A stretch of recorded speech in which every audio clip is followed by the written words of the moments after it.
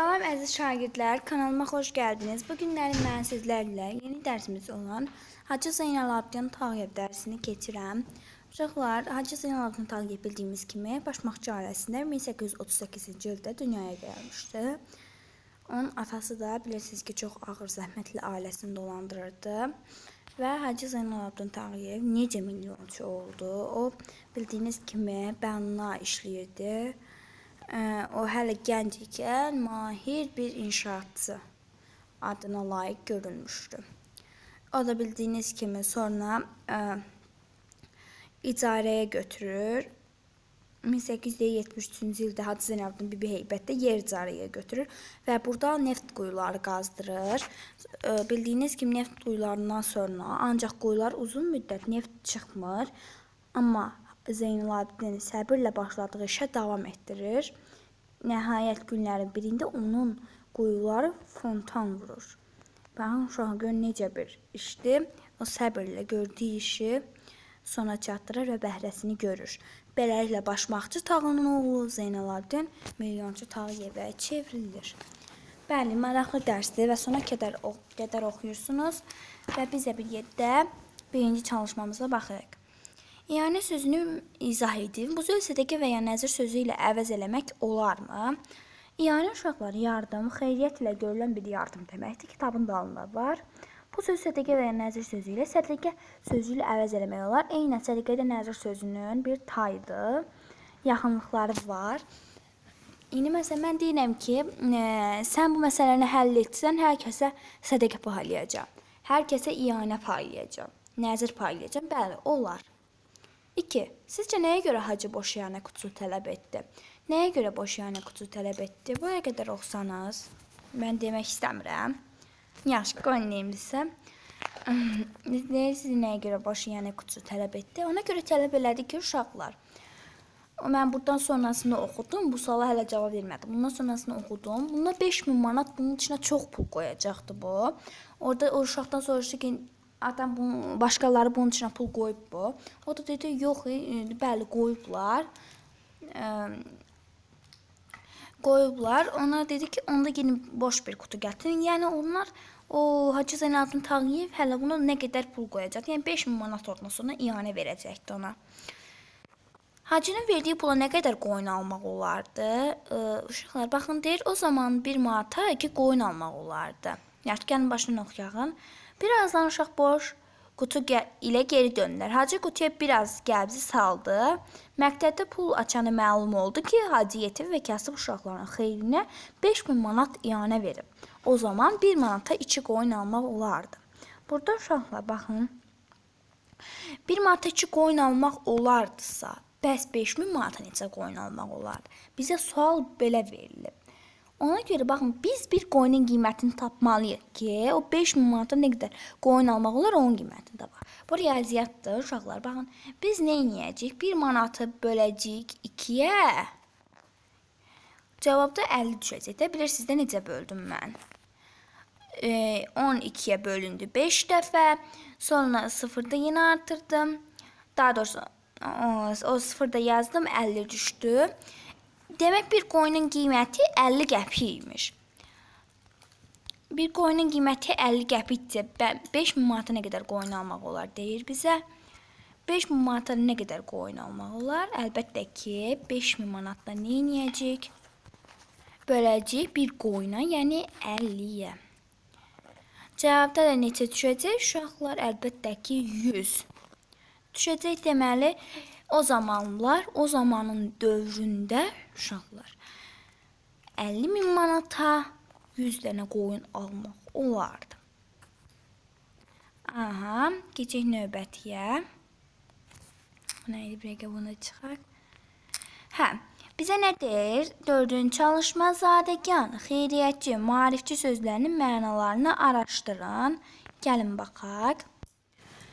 Sadəgan uşaqlar, mən baxdım, səhifə 199, kübar, əsilzadə, aristokrat deməkdir. Ee, sonra xeyriyyətçi sözü deyil. Mən baxdım xeyriyyətçi sözünə. Xeyriyyətçi sözü burada yoxdur. Yəni xeyriyyətçi sözü yox idi. Bəli, xeyriyyətçi sözü yoxdur burada. Xeyriyyətçi yəni yaxşı insan, yəni insanlara xeyir göstərən adama deyilir.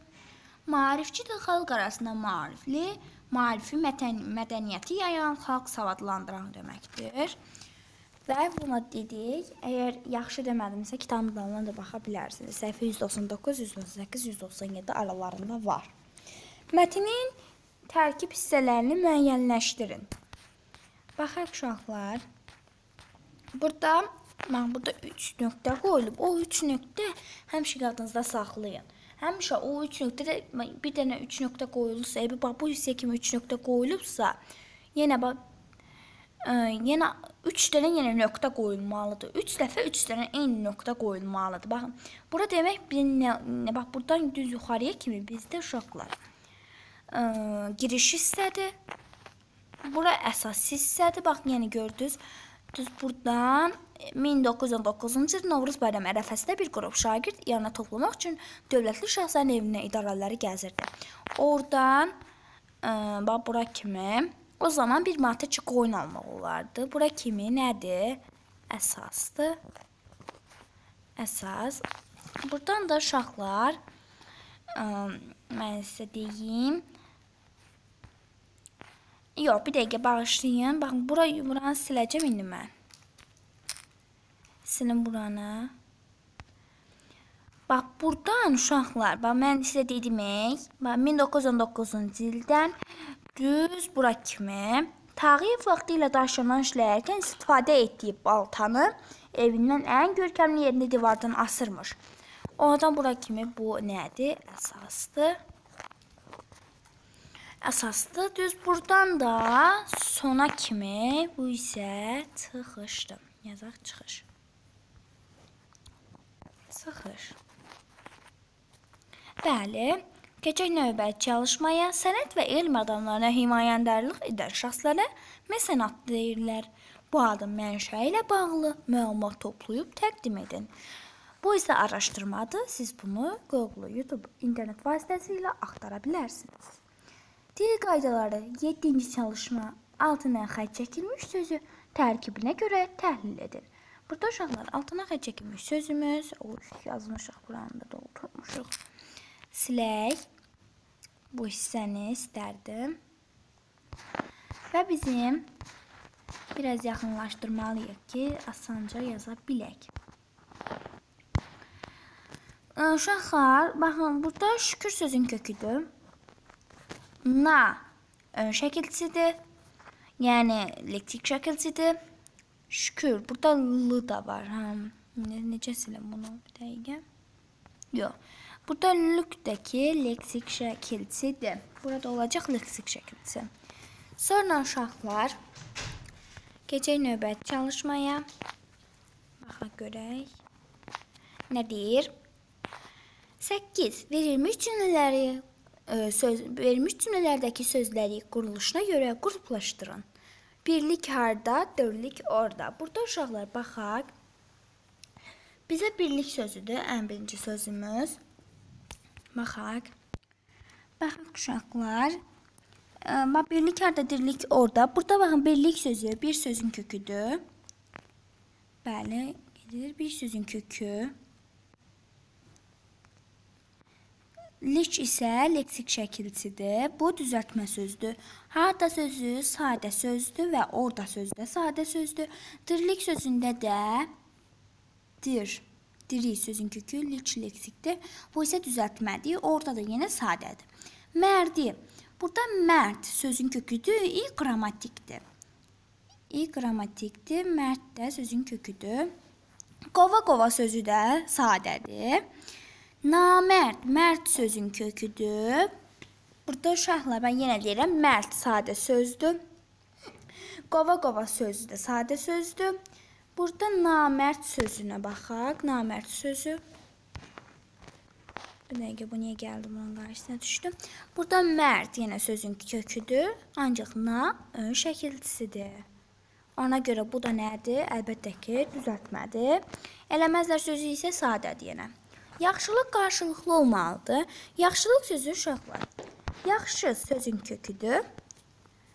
Yaxşı sözün köküdür. Lıq isə leksikdir. Ona görə bu da düzəltməlidir yazdım. Qarşılıqlı sözünə baxaq. Qarşılıqlı sözdə yoxdur. Olmalıdır sözdə, yəni sadədir. Olmalıdır və qarşılıqlı sözləri sadədir.